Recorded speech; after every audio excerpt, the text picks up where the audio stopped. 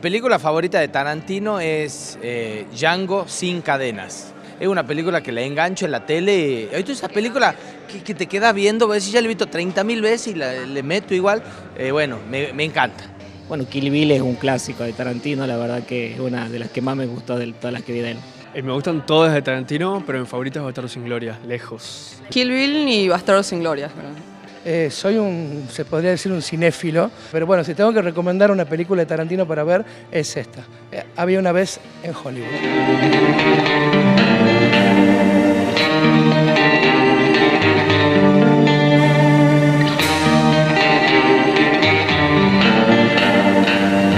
Me parece genial porque ah, eh, nunca había ido a una Bond Premiere. Está bueno tener como esa información antes de que todo el mundo la vea. Estamos poco acostumbrados a ver un estreno un día martes y que sea de, de este calibre creo que le hace muy bien para la cultura de Tucumán. Está bueno esta parte antes de, de entrar a la película, entrar como en un clima de, de cinéfilo.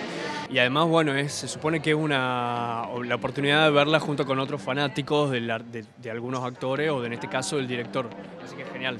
Eh, Los avant premier son movidas eh, comerciales muy interesantes para promocionar las películas, para promocionar el lugar y para sumar eh, más gente que, que siga el Club La Gaceta y, todo, y toda esa movida tan linda que siempre hacen. No, gracias a ustedes, gracias a la Gaceta por invitarme y a toda la audiencia que está mirando. Besos.